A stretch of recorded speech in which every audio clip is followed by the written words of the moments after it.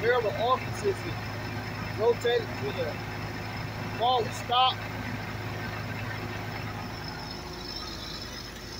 Automatic control valve is up.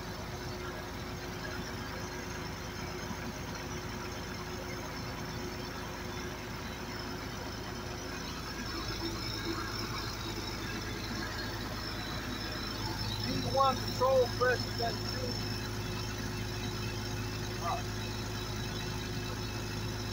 Uh, 20, 15, control pressure, about 210.